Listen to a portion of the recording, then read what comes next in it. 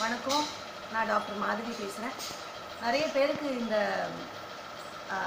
இந்த வர ஞாயிற்றுக்கிழமை ஏன் பதினாலு மணி நேரம்?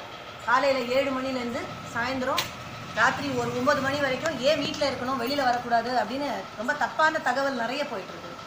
வரக்கூடாது தான் பிரதமர் ஏன் அப்படி சொல்லியிருக்காரு? இந்த மாதிரி ஒரு நடவடிக்கையை ஏன் எடுத்திருக்கிறாங்க அப்படின்னா இந்த கொரோனா வைரஸ் வந்து பதினாலு மணி நேரம் தான் மனிதரோட உடலுக்கு வெளியில் பிழைக்க முடியும். இல்லைன்னா அது இறந்துரும். இப்போ பதினாலு மணி நேரம் நம்மளுக்கு எந்த ஒரு உடல் ம மனித உடலும் அதுக்கு கிடைக்கலன்னா அது வெளியிலேயே செத்துரும். அப்படின்னா நம்ம ரோட்டில் இருக்கிறது யாராவது இரும்பி இருப்பாங்க. அவங்க சளி இருந்திருக்கலாம் வெளியில். ஸோ மனிதரோட உடலுக்குள்ளார அது நுழையலைன்னா பதினாலு மணி நேரத்துக்குள்ளார செத்துடும் எல்லா வைரஸும் வெளியில் இருக்கிறது.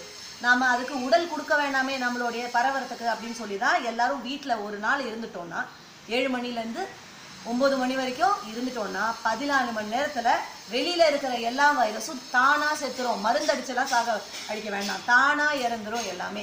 இந்த விஷயம் தெரியாமல் நிறைய தக தப்பான தகவல்லாம் பரவுது தயவு செஞ்சு எதுக்காக நம்ம உள்ளே இருக்கணும்னு தெரிஞ்சுக்கோங்க.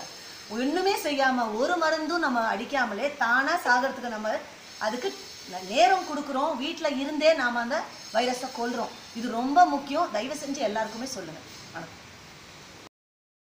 晒着。